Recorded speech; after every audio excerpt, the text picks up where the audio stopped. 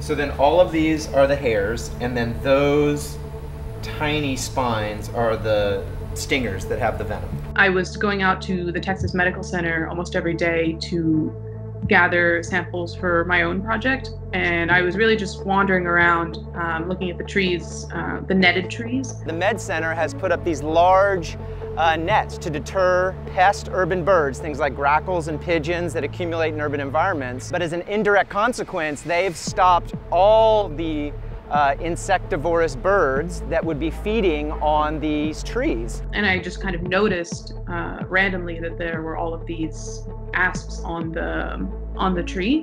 And so we thought this was a wonderful kind of natural, already occurring experiment that we could exploit. What happens when you remove an apex predator from an environment? And we focused on the southern flannel moth, which as a caterpillar is called the puss caterpillar or the asp, ASP. This caterpillar is one of North America's most venomous caterpillars, causes a very powerful sting, but it's an herbivorous caterpillar that feeds on the leaves of many trees here in southeast Texas. It's a really painful sting. I've been stung by a lot of things and this definitely ranked up there. It actually takes a while for it to actually set in.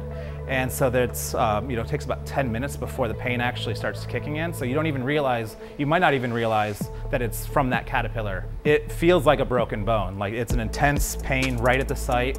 So what you're visualizing right here are pupal cases of many of the asp caterpillar as they're transitioning to the southern flannel moth. The pattern in the data is overwhelming. That data is pretty striking, and, and I think um, it's highly suggestive that um, when you don't take into account the natural interactions that are going on, even in an urban setting like this, um, it can have these unforeseen consequences. We observed a 7,000% increase in the number of caterpillars we observe here where birds are, are not uh, around to feed on the caterpillars versus places like Rice Campus, which are in more in balance, where you have the plants, the herbivores, and their predators present. The thing that I thought was interesting about the ASP project is it is so directly related to what we do as humans and the the population that is really underneath all of these the the asps is the people that are going to the medical center and that's a pretty